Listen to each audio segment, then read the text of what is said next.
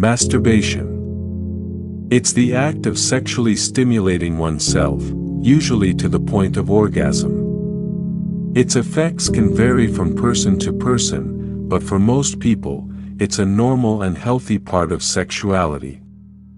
It can relieve sexual tension, promote relaxation, and help people learn about their bodies and what feels good to them. However, like anything, excessive masturbation can potentially lead to issues such as fatigue, guilt, or interfering with daily activities. It's all about finding a balance that works for you. Before we dive into today's video, I want to remind you to hit that subscribe button below and turn on notifications so you never miss out on future content. Your support means the world to me, and subscribing helps the channel grow. Now, let's get into it. In a serene monastery nestled amidst towering mountains, there lived a young monk named Koji. Koji was known for his earnest dedication to the teachings of Buddhism and Zen, yet he struggled with a persistent inner turmoil, the temptation of indulging in self-gratification. One evening, as the sun dipped below the horizon and the moon cast its gentle glow upon the monastery, Koji sat by the still pond, pondering the words of his master, the mind, like water, must remain calm and undisturbed to reflect the true nature of existence, but Koji's mind was anything but calm. The turbulent waves of desire crashed against the shores of his consciousness, threatening to engulf his resolve.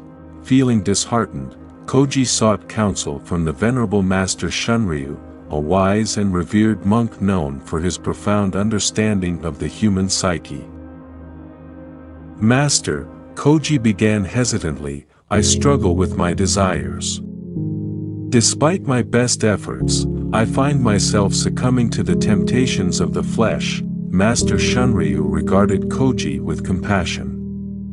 Desires are like ripples on the surface of the pond, he said, gesturing toward the tranquil waters before them. They arise and subside, but the essence of the pond remains unchanged, but how can I overcome these desires?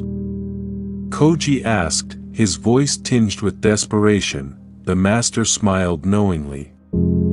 The path to liberation begins with discipline, he replied.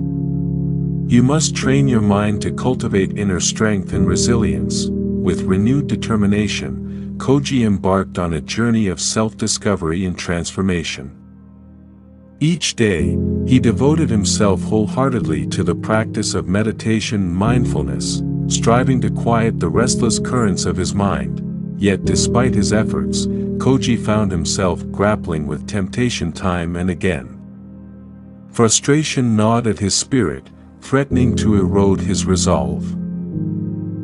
One moonlit night, as Koji sat in silent contemplation by the still pond, a sudden realization dawned upon him like a beacon of clarity. I have been approaching this challenge with resistance, he mused aloud. But perhaps true liberation lies not in the suppression of desires, but in the transcendence of them. With this newfound insight, Koji embraced his desires with compassion and acceptance, viewing them not as obstacles to be overcome, but as opportunities for growth and understanding. As days turned into weeks and weeks into months, Koji's inner turmoil gradually began to subside like the fading ripples on the surface of the pond. In their place arose a deep sense of peace and equanimity. Like the stillness that pervaded the monastery at dawn, one crisp morning, as Koji stood gazing out at the majestic mountains that cradled the monastery, he felt a profound sense of gratitude wash over him. I am no longer bound by the chains of desire, he whispered to the gentle breeze. For in the stillness of my heart, I have found true liberation, and so, Koji continued his journey along the path of enlightenment, guided by the timeless wisdom of Buddhism and Zen, and forever grateful for the lessons learned by the still pond. Thanks for watching. Hope enjoyed this video, don't forget to subscribe to my channel for more content like this. Just click the subscribe button below and hit the notification bell so you never miss an update. Also, feel free to leave a comment and let me know what you'd like to see next. See you in the next video.